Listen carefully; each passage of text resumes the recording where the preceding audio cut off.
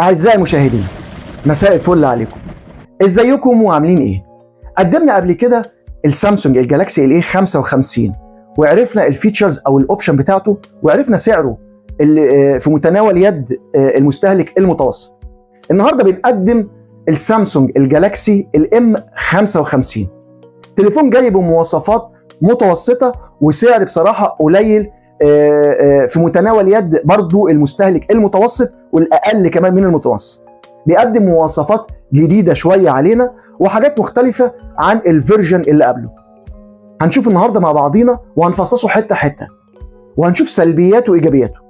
وهنشوف نقاط الضعف بتاعته والقوة. وفي الآخر بقدم ما بين إيدين حضراتكم data كاملة عشان تاخد آه القرار. إذا كنت عايز ترقي التليفون بتاعك للجديد أو تشتري الجديد ده لأول مرة. القناة يا جماعة مهم جدا آه، تفاعلكم عليها. آه، بتعلى يوم ورا يوم في خوارزميات اليوتيوب بعد ما بتتفاعلوا على الحلقة.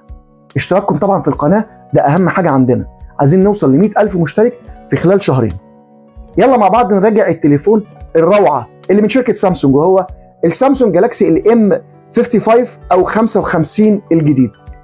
أنا أخوكم أشرف عرفان ودي قناتكم اللي هتشتركوا فيها وهتدعمونا. قناة ثاندر ليجند يلا بينا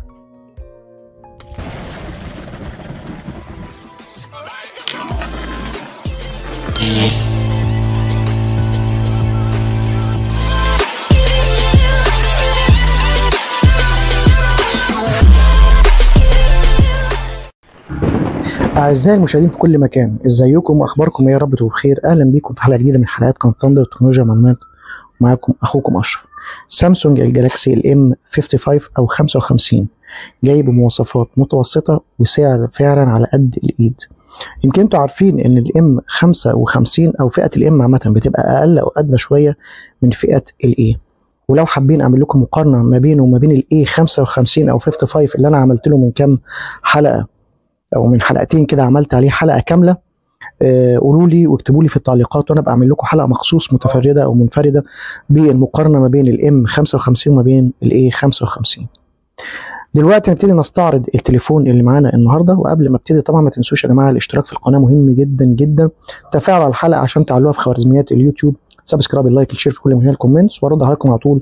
وزر الجرس لو سمحتم فعلوه عشان يجيلكم كل جديد. يلا مع بعض نبتدي نراجع التليفون اللي معانا النهارده الرائع. من شركة سامسونج هو السامسونج جالاكسي ال M 55 أو 55 يلا بينا. وكالعاده بنبتدي بشكل التليفون.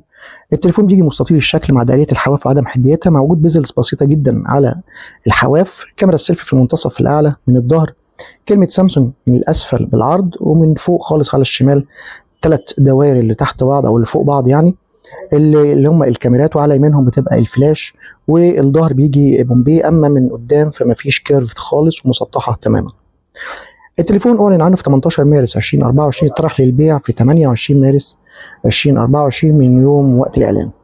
ابعاد التليفون كالآتي الطول في العرض في السمك 163.9 في 76.5 في 7.8 سمكه يعتبر آه، قليل. الوزن المقدر ليه هو خفيف 180 جرام. والتليفون مهيأ إن هو ياخد شريحتين من النوع. النانو ولكن ما بياخدش أو مش مجهز ب electronic أو eSIM نيجي بالنسبة للشاشة نفسها. شاشة التليفون ده من نوع ال Super AMOLED Plus مليار لون refresh rate أو آه آه، التردد بتاع الشاشة 120 هرتز ومعدل عينة اللمس 3600 هرتز وال nits بيوصل ل 1000 nits. درجة وضوح مش هنقول قوية ولكن هنقول آه يعني مقبولة. في وسط الضوء العالي أو وسط أو في ظل الشمس. مساحة الشاشة 6.7 إنش بقوة استحواذ 90.1% ب resolution شاشة 1080 في 2400 بكسل aspect ratio 20 ل 9 مع كثافة بكسلات 385 بكسل لكل إنش يعني درجة برضو ألوان ووضوح روعة جدا. التليفون مهيأ طبعا بنظام ال Always On Display ومحمي ب Corning Gorilla Glass من النوع الخامس.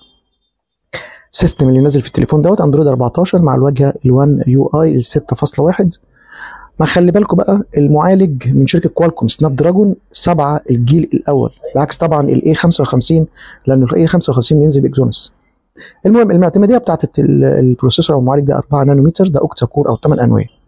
النواه الرئيسية بقوة 2.4 جيجا هرتز Cortex A 710 ثلاث انويه متوسطة بقوة 2.36 جيجا هرتز Cortex. A 710 ده المسمى بتاعها والأربع انويه الموفره للطاقه بقوة 1.8 جيجا هرتز Cortex A 510 أما وحدة ال GPU والرسوميات المدعمة لل processor من نوع ال Adreno 644 التليفون بياخد كارت memory لغاية 1 تيرا والتليفون نفسه بينزل بذاكرة إما 128 جيجا بايت أو 256 جيجا بايت من نوع ال UFS 3.1 وبالنسبة للرامات بينزل برامات واحدة للاثنين 8 جيجا بايت رام قبل الزيادة ب 8 جيجا بايت سيستماتيك كاميرات التليفون دوت في الظهر تحفة بيجي بثلاث كاميرات الكاميرا الرئيسية 50 ميجا بكسل فتحة عدسة 1.8 آه، بتدعم ال PDAF وال OIS تثبيت البصري الكاميرا ال ultra wide 8 ميجا بكسل فتحة عدسة 2.2 أما الكاميرا ال macro فهي 2 ميجا بكسل فتحة عدسة 2.4 والتوليفة الروعة دي بدعمها LED flash بدعم تصوير البانوراما وال HDR تصوير الفيديو بيوصل ل 4 K ب frame 30 frame per second. أما الكاميرا الأمامية فهي 50 ميجا بكسل فتحة عدسه 2.4 مقارنة طبعا بالكاميرا ال A 55 فهي أعلى لأن الكاميرا بتاعت ال A 55 فهي 32 ميجا بكسل. المهم تصوير الفيديو بيوصل ل 4 K ب frame 30 frame per second. سماعات التليفون دي ستيريو من الأسفل من أعلى ومفيش مكان لتركيب ال jack 3.5 وحدات ال communication حدث بقى ولا حرج باحدث حاجة ال Wi-Fi dual band البلوتوث version متأخر شوية 5.2 ال GPS dual band وال NFC موجود بس ده معتمد على ال region. والراديو مش موجود وال USB من نوع ال Type C 2.0 بيدعم ال OTG. بصمة التليفون ديت أسفل الشاشة. optical وفي جميع ال sensors موجوده في جميع التليفونات.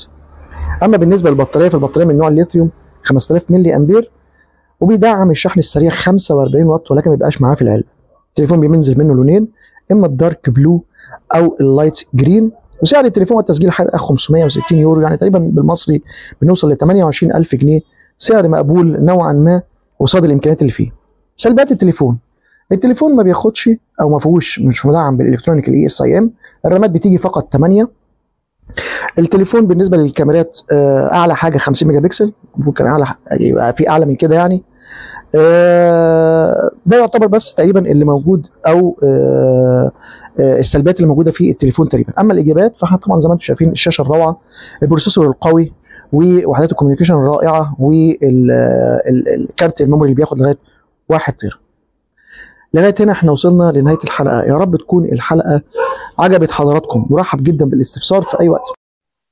مش هنسى أفكركم زي كل مرة لو سمحتوا ما تنسوناش الاشتراك في القناة مهم جدا جدا جدا.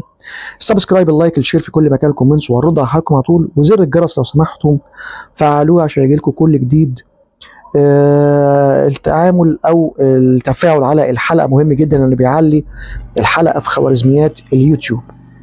شكرا جدا لحسن استماع حضراتكم وسلام عليكم.